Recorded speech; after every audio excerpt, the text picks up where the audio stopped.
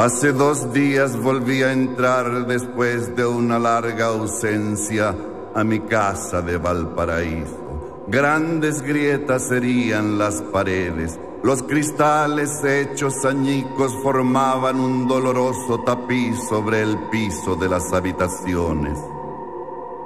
Debemos limpiar, ordenar y comenzar de nuevo. Cuesta encontrar el papel en medio del desbarajuste y luego es difícil hallar los pensamientos.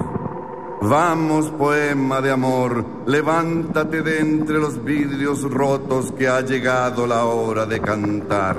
Ayúdame, poema de amor, a restablecer la integridad, a cantar sobre el dolor. Sigo creyendo en la posibilidad del amor.